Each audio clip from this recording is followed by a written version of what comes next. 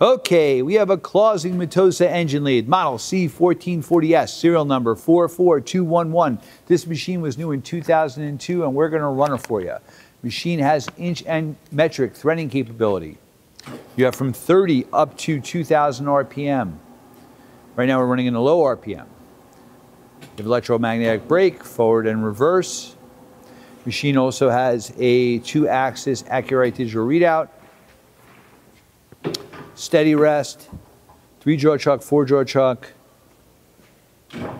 going a bit faster.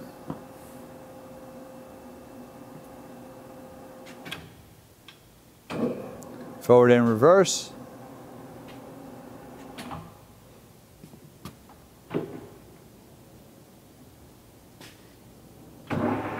All right, we sped it up a little bit.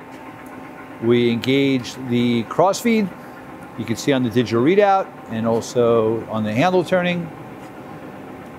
That's the longitudinal feed. Okay, it's moving. All right.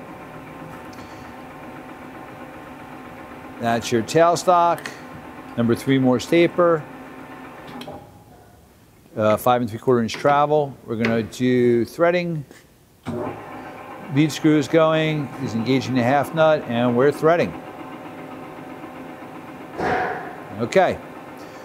So a bunch of different speeds, feeds, thread. That's your other chuck, the four jaw.